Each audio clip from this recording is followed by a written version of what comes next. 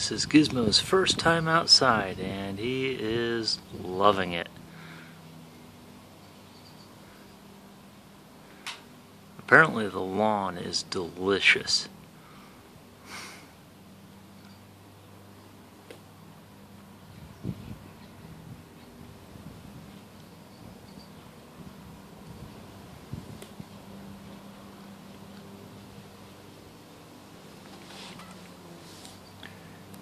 Happy Catterday!